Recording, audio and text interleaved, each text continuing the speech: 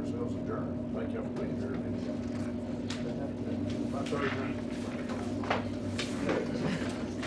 You got a whole day ahead of you there, Margaret.